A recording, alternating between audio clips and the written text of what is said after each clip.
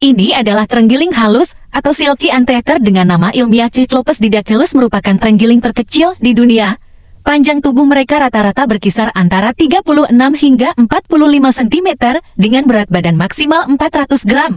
Spesies ini dapat ditemukan di Meksiko bagian selatan, Amerika Tengah, dan Selatan. Silky anteater menjadi terenggiling yang paling unik sebab mereka tidak memiliki cangkang keras seperti terenggiling pada umumnya. Bahkan, tubuh silky anteater ditumbuhi bulu halus yang terasa sangat lembut ketika disentuh.